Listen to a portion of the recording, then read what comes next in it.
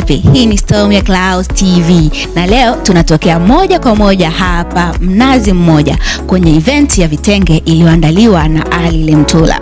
Well, Ali ni mbunifu mkongwe kutoka hapa nchini Tanzania ambaye kwa mara ya kwanza kabisa anaandaa maonyesho ya wazi ya mitindo yenye kiingilio cha bure. Mimi Lilian Masuka pamoja na timu yangu nzima ya Storm TV tutakuwa hapa kukupatia updates zote. Lakini kabla hatujaendelea na show hii, kwanza kabisa tuangalie kwa ufupi jinsi event nzima ilivyokuwa.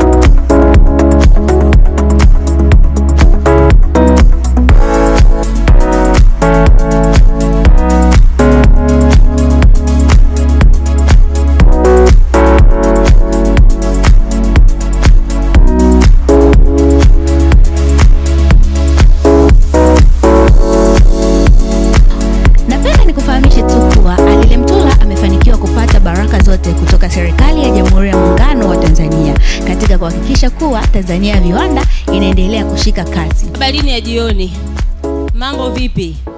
Ah, kwanza kabisa niseme nimefurahi sana kuwepo kwenye tukio letu hili ambako ni onyesho la mavazi, lakini kipekee kabisa nitumie fursa hii kumpongeza uh, mbunifu wa mavazi Aile Mtula kwa kazi nzuri ambayo ameifanya, lakini kwa kuweza pia kuweza kuandaa onyesho hili la mavazi, na niseme kwamba amekuwa ni mbunifu wa mavazi ambaye kwa miaka mingi sana amekuwa kwenye sekta hii ya ubunifu kwa zaidi ya miaka kumi na mbili sasa.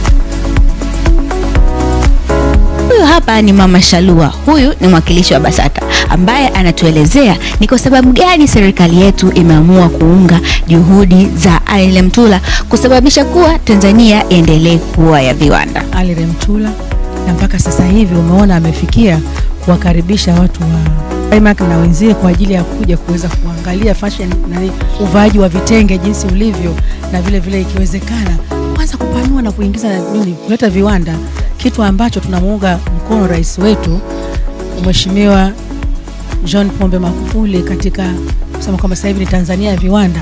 Ina maana kama watakuja na sisi tutafanya vizuri na waone kwamba tunastahili, wakileta viwanda, ina maana itakuwa kwa sababu gani? Watu watavaa vitenge vikiwa katika texture ya shati, kitenge katika texture ya suruali, kitenge katika texture ya nguo ya kawaida ya kuvaa, texture ya kitambaa, texture ya skafu, teksi ya kanga. Ina maana sasa tutakuwa kuliko kuvaa kitenge ni kama hiki, alafu hiki hiki unavaa shati, kiki unavaa suruali, kiki unavaa sijui nini. Ah, ah. Lakini naamini kabisa kama watakuja hiyo itafanyika, na si hivyo tu, ina maana hata ukulima wa pamba utaongezeka, kwa sababu watakuwa wanajua pamba hii wanaitoa wanaipeleka wapi. Ina maana tayari sasa ni ukuzaji wa nini, kwa viwanda. Tunaamini Watanzania wanaendelea sasa kwenda kupata nini, hela zinaenda kuja kwa jinsi ambavyo mfumo unakwenda eh, na jinsi ambavyo rais wetu anatupeleka, hela inaingia mifukoni kwa watu. Kwa hiyo watu watavaa na wanapenda kupendeza Watanzania. Kwa hiyo na uhakika hii tasnia inakuwa na inakuwa vibaya sana, itakuwa vizuri, watafika juu.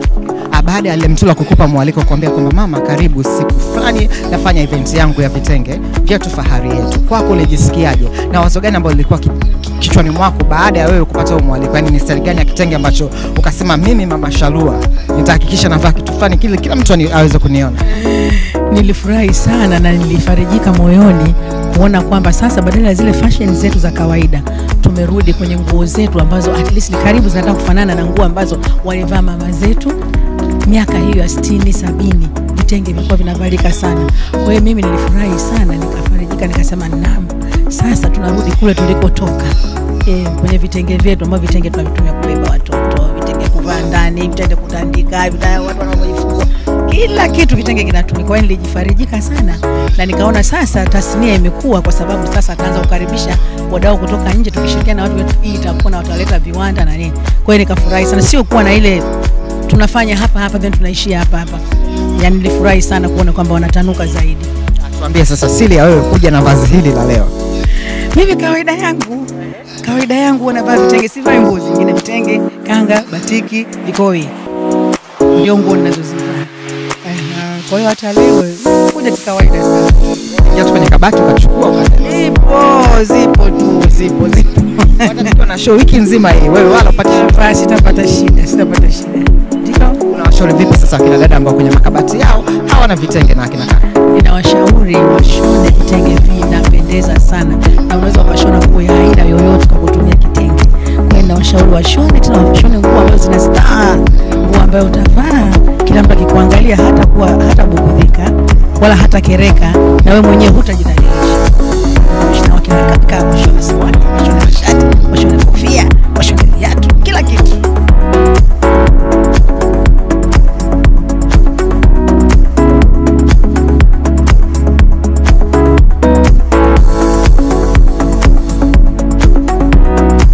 Lakini pia Alile Mtula anatoa sababu ambazo zilipelekea kuandaa fashion show hii na kitu gani ambacho kilimdrive yeye kuwatafuta hawa Wachina kufanya nao kazi hii ya vitenge. Wachina wa China hao wa kiwanda wa Hightech na Flygirl walitaka tuandae fashion show ya mavazi kwa vitenge zao.